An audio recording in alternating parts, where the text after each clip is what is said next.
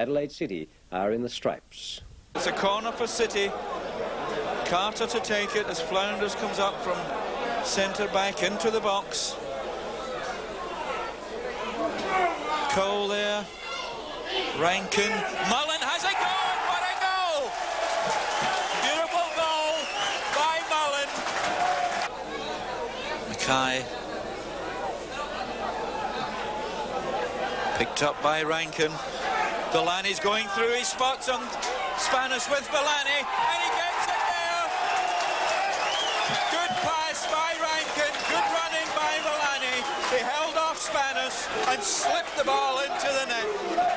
And that's a corner for Heidelberg. McNally's ball, but he misses it, and there's a touch there from McLeod, and that's a goal.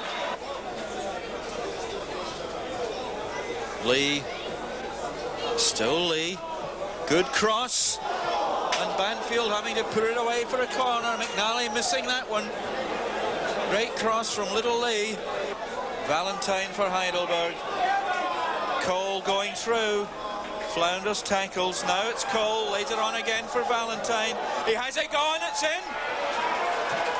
So that's 2-2. What a shot for City. Got lost there. Perseverance by Cole and Valentine. And that makes the score 2-2.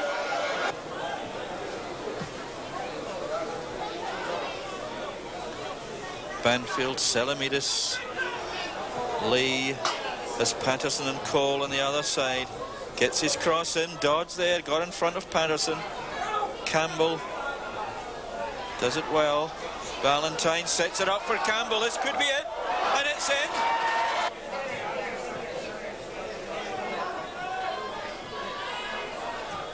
Way by Banfield.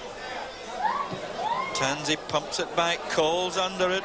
He gets it. This could be the next one. And he miskicks and McNally misses it. And it's in from Lee.